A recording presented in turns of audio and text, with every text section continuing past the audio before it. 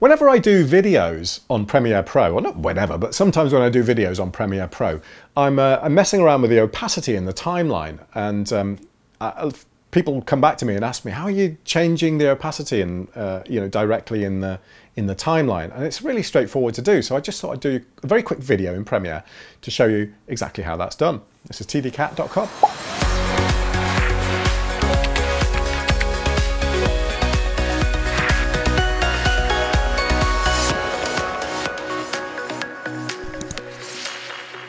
So when you first drop some clips into the timeline in Premiere Pro, it's probably going to look something like this, but obviously not exactly like this because everyone has their uh, workspace laid out slightly differently, but probably something like this. And the main thing to, to notice is the fact that these are all really kind of narrow. Uh, Premiere has done that by default for a while, so uh, you can use the scroll wheel if you have one. Uh, I'm not absolutely sure what it would be if you don't have a scroll wheel, but um, I'm sure there's an equivalent uh, to expand these out. And as you expand them out, there is the bit we're interested in, this line here. And if we hover over here and just hold still, oh, it should tell us. In fact, let me just select, make sure it's selected.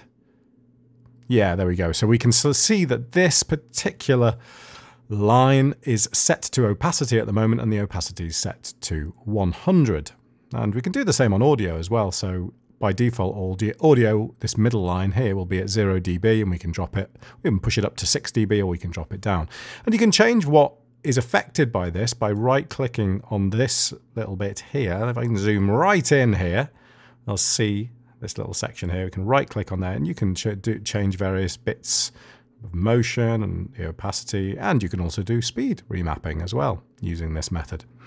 It's a bit weird to do actually, speed remapping. But anyway, so all we do, if we want to fade down this clip, we can press Z on the keyboard and we can zoom into the section we want and maybe just zoom in, maybe just fade out this last section, go back to V, which is the selection tool, and we hold down control.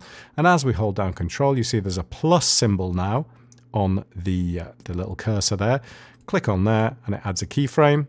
Do the same here, click on plus, and then we just hover over that and with this, this is with nothing held down, click and drag it down and we can obviously adjust the fade out. So as we track across that now, it fades out.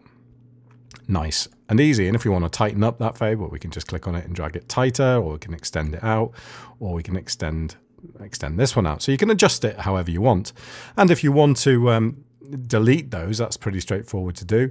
You can just um, click on it like that so it's highlighted and then just hit delete on the keyboard. That deletes one of them. You still see that we've got the other one down here, uh, but it's this single keyframe now is pulling our opacity down to zero. So if I delete that one, it pushes it back up to 100 again. So uh, yeah, there we go. That's pretty much all, all you have to do. It's a bit more awkward to do with audio because it's you know, if you once you've moved it once, it's difficult to get back exactly on that 0 dB mark, but uh, it doesn't matter too much. And you can always expand these out a little bit more to give you a bit more room on an individual track and then uh, close it back up again. But uh, that's all you have to do. Just hold down control and do plus to take those, add those on.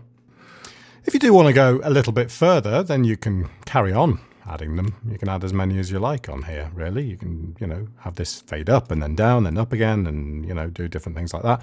And if you go close to your keyframe, you'll see that you get that slightly different symbol there. And if you click on that then with control, you get this that familiar Bezier option that allows you to do a non-linear fade basically. So this will obviously be linear. It'll start at one speed carry on but we can do uh, we can have uh, Bezier handles here to do a non-linear fade and change it uh, change the curve of the fade. So that's kind of quite nice too. And again we can just click on that and delete the keyframe like that. Click on that one, delete that keyframe, click on that, and delete that, and click on that, delete that. And everything you do is reflected up at the top as well. So, you know, you can, if you want that finer control, you can go in there and do it at the top. So we see now that at the top here, we have all those keyframes that we've added. And if we want, yeah, if we want a little bit more, if we want to control those a little bit more, we have to expand out the opacity section here, and then we can do our standard ease in, ease out, and uh, and all those type of Bezier curves or linear curves directly from the normal keyframe area. So uh, really straightforward to do. Thanks for watching and I'll see you soon.